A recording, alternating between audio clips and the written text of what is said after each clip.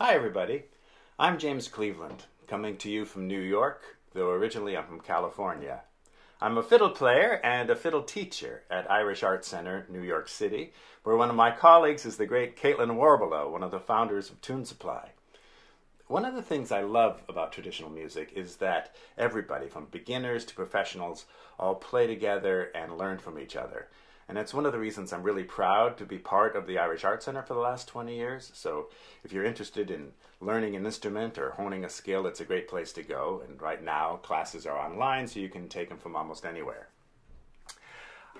I'm going to play three jigs for you the I learned these tunes from Athena Tergis, a great fiddler when she was living in New York. And they're three of my favorite tunes. The first is The Rambling Pitchfork. I love the names of these. And the second is Old Tipperary. And the third is the Cuil Aodha Jig. Hope you enjoy.